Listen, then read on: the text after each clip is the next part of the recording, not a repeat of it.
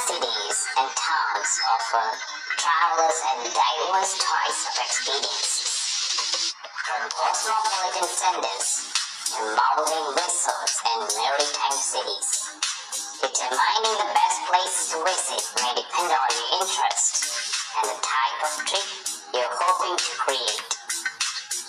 In the heart of the country is Toronto, Canada's biggest city and highlight of Canada's art and cultural scene. Nearby, Niagara Falls is a must-see attraction for visitors to Canada that never disappoints. In the neighboring French-speaking province of Quebec, Montreal is known for fashion, culture, and history. In the West, Vancouver and Victoria offer two very different perspectives on West Coast cities, but each has something unique to offer. Eastern Canada has a culture all of its own, with a rich maritime heritage and friendly people and scattered throughout the country are other popular cities and lesser known gems to explore. Now let's see the list of some of the best places to visit in Canada.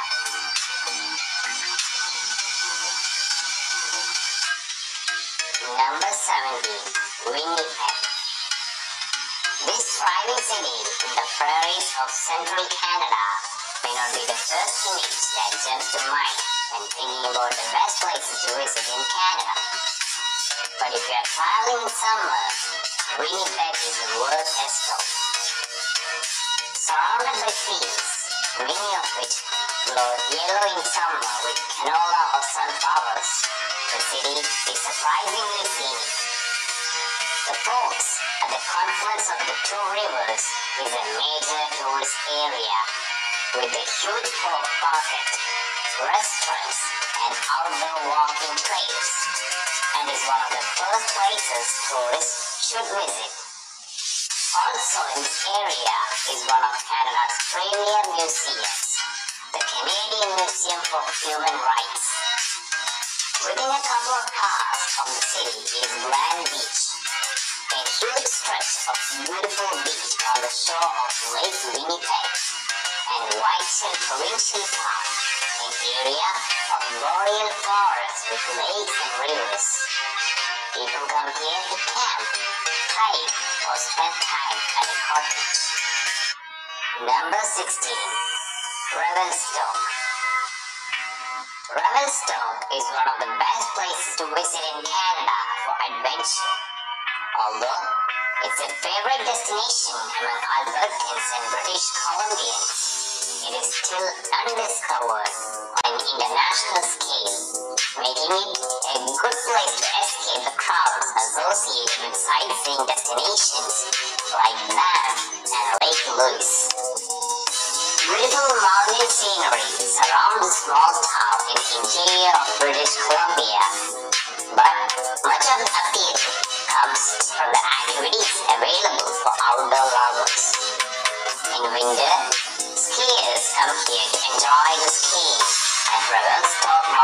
Resort or to go hill skiing in the Person Mountains. In summer, mountain biking and hiking are the most popular things to do. Nightlife here has been expanding over the last number of years, and you can find plenty of places to frequent after a day of skiing or hiking. Number 15. Kelowna. In the interior of British Columbia is the lovely city of Kelowna. The city is a favorite spot for Canadians. Picturesquely set on the shore of Lake Okanagan and surrounded by rolling mountains, Kelowna draws tourists during the summer months when possible to hike, golf, or enjoy. Renting a houseboat to explore the surrounding waters is a popular summer vacation in this area. In winter, the surrounding mountains are a hotspot for skiers. The popular nearby ski resorts are Big White and Silver Star within easy reach.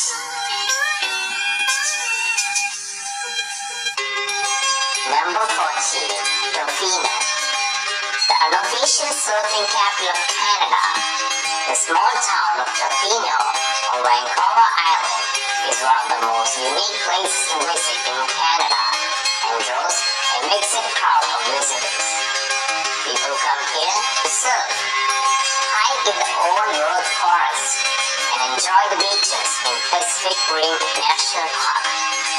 See wildlife, kayak, storm watch in Navampa, and relax at one of the quaint oceanfront lodges.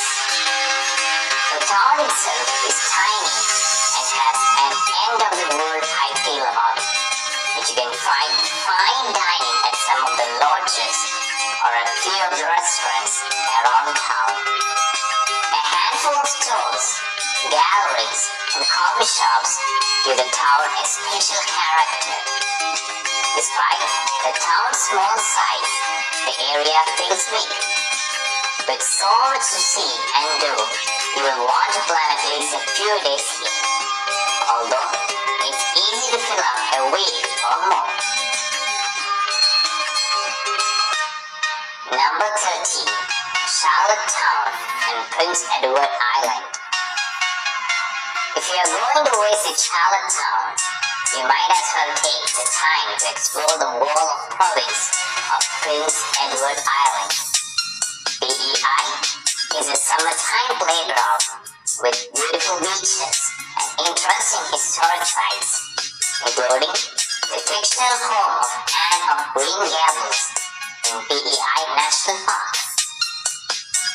Charlottetown is the capital and main city, but has an almost small town feel.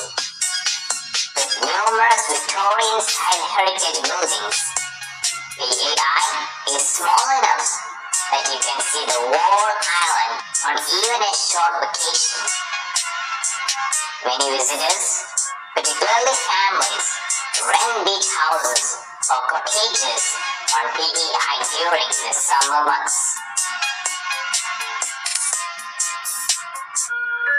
Number 12. Whistler. Whistler has long been known as a world-class ski destination and was the site of many of the skiing events during the 2010 Winter Olympics hosted by Vancouver. Despite this reputation, Whistler is an equally impressive and popular summer destination with hiking, biking, golfing, and many other activities on offer. The village has grown over the years and is now a vibrant, high-end resort town with a great selection of hotels, restaurants, and shops. The Whistler Blackcomb Mountains are famous for the incredible terrain and bringing skiers from around the world. The peak-to-peak Rosella, which joins the two mountains, is in 11 minutes minute, 4.4 kilometer long ride with spectacular views and is open to skiers or non-skiers year-round. Number 11. White Horse. A visit to White Horse offers a chance to see life in Canada's far north. The capital of the Yukon and also a gateway to areas farther north, including Alaska and the beautiful Nahanni National Park. The city's history dates back to the Columbian Gold Rush, when prospectors made their way through here on their route to Dawson City. Many of the city's attractions offer insight into the gold rush days. And beyond the city limits are some beautiful natural areas to explore. If you're lucky, the night sky will come to life with a display of northern lights.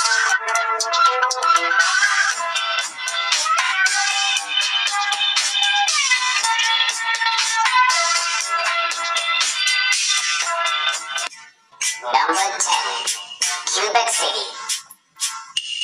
Like Montreal, Quebec City is loaded with history and located in the French-speaking province of Quebec. This is a provincial capital and a city with history dating back to the early 1600s. The old buildings and curvings, cobble streets make this one of Canada's most charming capital cities. One third the size of Montreal. Quebec City is also relatively small and easy to navigate.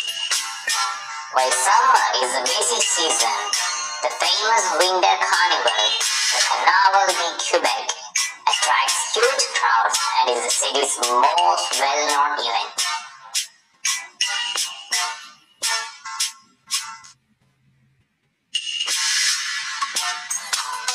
Number 9.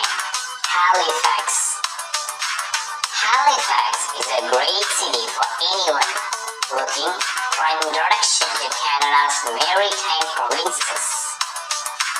The Halifax waterfront is the main tourist hub in the city, particularly during the summer months with few historic buildings and plenty of activities. Overlooking, the city is the Halifax Citadel National Historic Site, one of the city's main attractions. Outside the city are a number of small coastal villages that offer a good glimpse of life in the Maritimes. One of the most famous villages is Peggy's Cove, home to the most photographed lighthouse in the Maritimes. A little further afield are Lunenburg and Mahone Bay, also well worth a visit. Day trip from Halifax is highly recommended.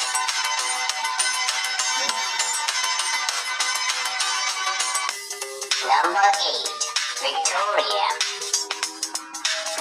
British Columbia's beautiful capital city has a quaint small town atmosphere, perhaps due to its island location. Set at the southern tip of Vancouver Island, the city has a mild year-round climate with wet, mild winters and warm, glorious summers. Views are stunning in every location. Looking out over the harbor, south over the Strait of Juan de Fuca to Washington State, or across the mountains on mainland British Columbia. Most of the tourist activity is focused around Victoria's Inner Harbor, where the Parliament buildings and the historic Empress Hotel are located. A stroll along the waterfront on a sunny day is gorgeous. Just outside the city center are beaches and lovely coastal areas, as well as parks and hiking trails.